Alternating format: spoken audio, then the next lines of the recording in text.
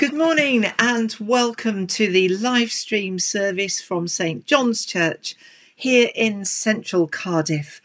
It's Sunday, the 10th of May. And hello to you if you are listening to this service on our new phone line facility where you can dial up and hear the service if you don't have access to the internet. More on that later. My name's Sarah and I'm the vicar here at St John's. Today is the fifth Sunday of Easter, and the service will last for around 15 minutes. We hope you'll enjoy being part of the St John's community. I always start by saying you might like to post your first name and your location in the comments on Facebook or YouTube. And if you do that, will gradually become aware of each other's presence. And it's beautiful to see so many people doing that as the credits roll and we get ready to worship together. So keep doing this, it's lovely. If you can, uh, please uh, stay right to the end of the service. There's a neat little video featuring three members of St. John's, along with some associated happy news of two of them, and it would be great if we can share that with you. It's good to have you here with us, uh, wherever you are. If you're a regular church goer, or if you're exploring Christianity, and or if you just happen to find us, you're very welcome. We hope you'll find something of God's love for you here today. So, who have we online today? And it's just terrific to see everyone. Hello, Sylvia, and uh, hello, Glennis. Hi, Ruth. Good morning, Tayo, uh, Vanessa, and Keith. Hello to Will and Rhiannon. So lovely to have you here with us today. Richard, good morning. Ben, hello. Good to have you back here with us this morning. Um, Claire and Chris and Lorna, uh, welcome and good morning to you. Emma and family, uh, Julie in Gloucester, good to see you here today. Andrew, John in France, uh, Kerry Ann, and uh, Janie, lovely to have you here with us. Uh, Kate in Herefordshire, welcome. Uh, Georgia, welcome to you. Our good friends in St Illtyd's Church, good morning to you. Georgie, Freya uh, and her family, Mark, uh, um, a welcome to you. Adele and Ian in Leckwith, uh, good morning. And um, Bipin, great to have you with us today. Louise joining us from wonderful Yorkshire, uh, good to have you here. So, we are a community. We come together with the people that we've mentioned with the people who are watching and haven't yet put their name in. That's fine. We come together today to hear of God's love for each and every one of us and to pray together. We are in the presence of God and we are in the presence of each other. And so we are a community. Let us pray. In the name of the Father and of the Son and of the Holy Spirit. Amen. The Lord be with you. And let us for a moment think of the times when we have fallen short of our calling as Jesus' disciples.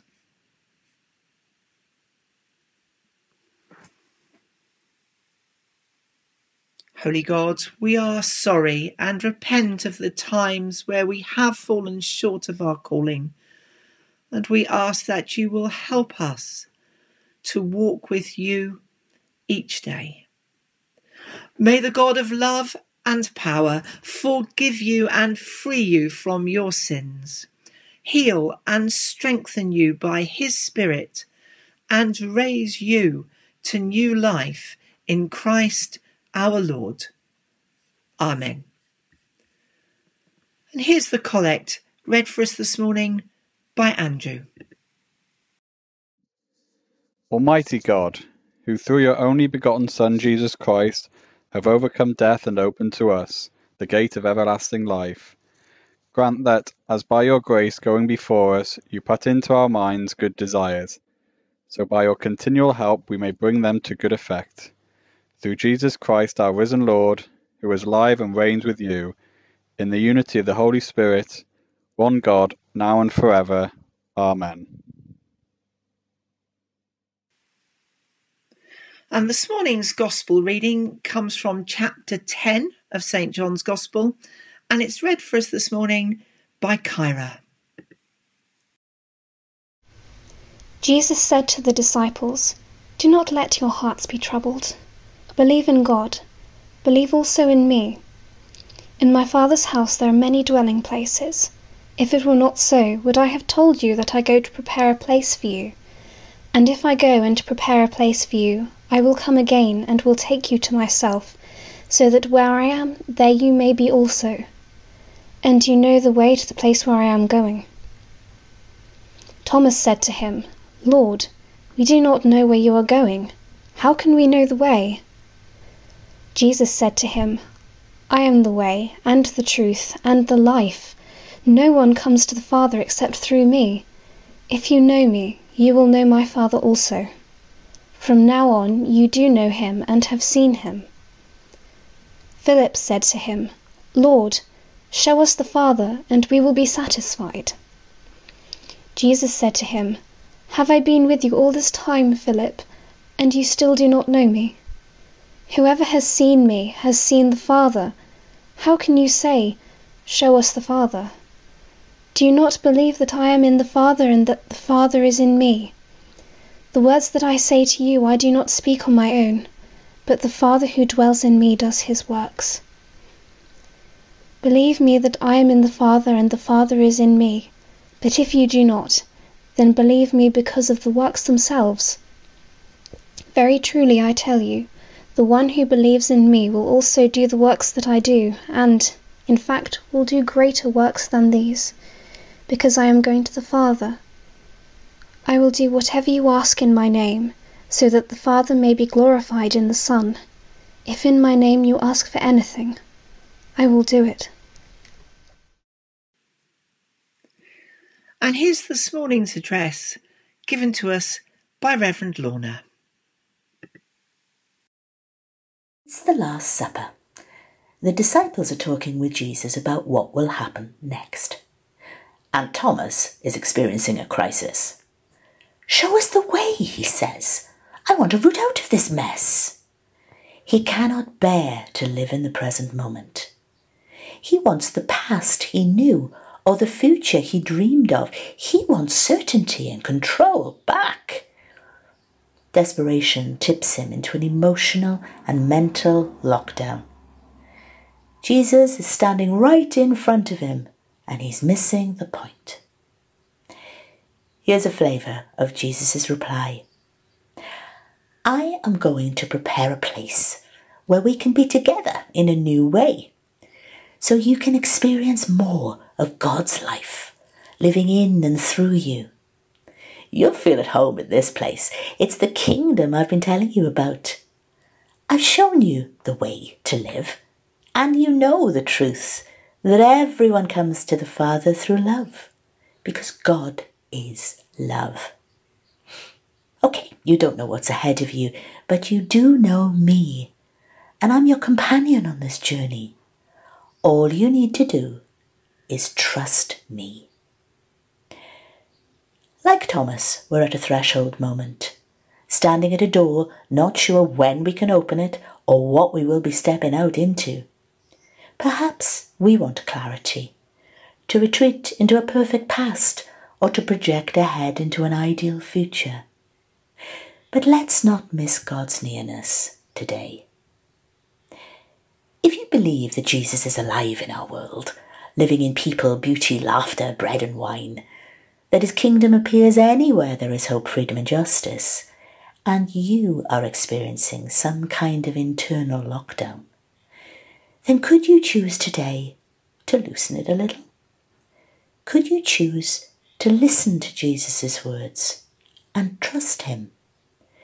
No nostalgia, no dreaming, no control. Just saying, Here I am, God, with all my thoughts and feelings.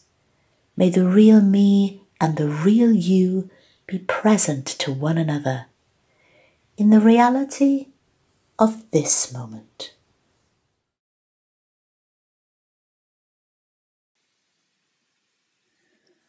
And so we are coming close now to our time of intercession. And if you'd like us to pray for someone or some issue that's on your heart this morning, do please send us a comment on Facebook or YouTube and we will pray for your intention this morning. While you do that, here's a short video explaining our new phone service facility. Hello. Do you know someone who'd like to hear the Sunday service but who doesn't have access to the internet? If you do, please let them know that St John's have put our Sunday service at the end of a phone line. So, for the price of a local call, from 11 o'clock each Sunday, you can hear the 10 o'clock service simply by dialing 02920 101 565. That's 02920 101 565.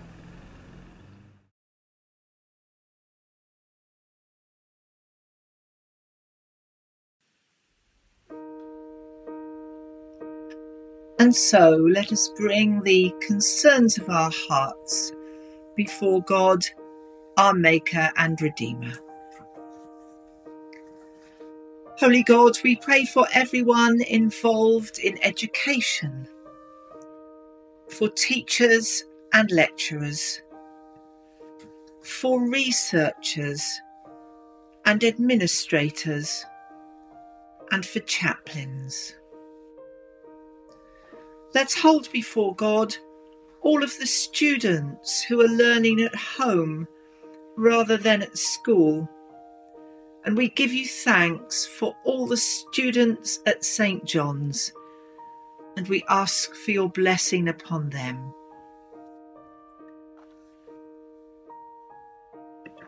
Jane has asked us to pray for Joss's Auntie Cynthia, who died on Thursday.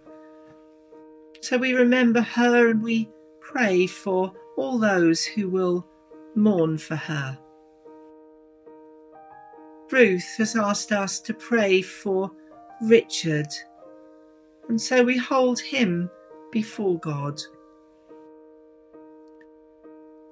We pray for Louise's intention of her friend who's now 54 days clean of self harm and battling on in this time of uncertainty. We commend that person to God. Kerry has asked us to pray for those who are lonely, that they may find some comfort. And we pray that they may know of God's love. Indeed, we pray for everyone who is homeless or vulnerably housed, or who lives in a situation of domestic abuse at this time. We hold before God Molly in Oxford, who was due to be confirmed this morning, and we pray for God's blessing on her in her continued journey of discipleship. And John in France asks us to pray for Doris, awaiting an eye operation, and we continue to pray for Roger and for Bill.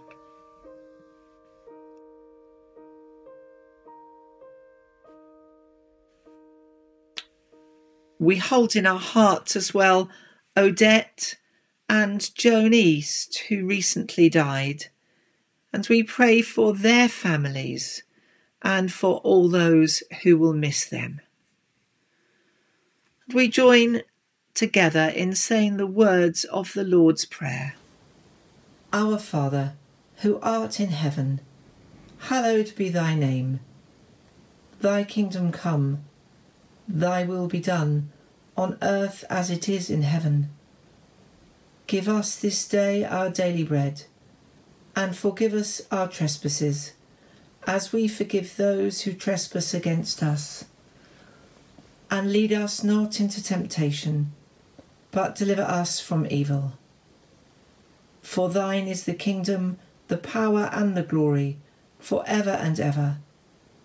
Amen. If you've enjoyed being with us this morning, please do tell a friend and invite them to the service. And if you want to be visible in the live stream, please do send in a photo to me so that I can add it to our gallery of people in St John's community, which we show during services. On Monday, our organist Philip will be telling us about his favourite hymn or worship song. So do click on our Facebook page from seven o'clock on Monday to see what he's chosen. Here's God's blessing for us all. God the Father, by whose glory Christ was raised from the dead, strengthen you to walk with him in his risen life and the blessing of God Almighty, the Father, the Son, and the Holy Spirit be among you and remain with you always. Amen.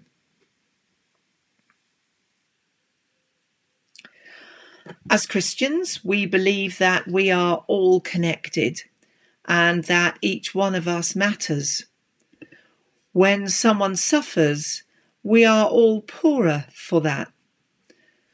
This week is Christian Aid Week. And Christian Aid Cymru promotes social justice and the alleviation of poverty in Wales and in 39 countries worldwide. Now, we usually have a collection around St John's to help fund their work, and this can't happen this year. However, on Wednesday, we will put a link to their donations page on our Facebook and Twitter feeds. As we're all connected, when some people rejoice, we also rejoice with them. And to end with this week, Vanessa and Keith have celebrated 10 years of marriage. So we rejoice with them and for them. It's also been VE Day, and Richard, our treasurer, sent me a photo of him as a baby waving a Union Jack whilst being held in the arms of his mother. Richard, Vanessa, and Keith all do sterling work, and St. John's is richer because of them. So we send them our congratulations and our appreciation. And we end the service this morning with photos of Richard. And to start with, Vanessa, and Keith. Go in peace to love and serve the Lord. Alleluia, Alleluia. Duw bendithio chi.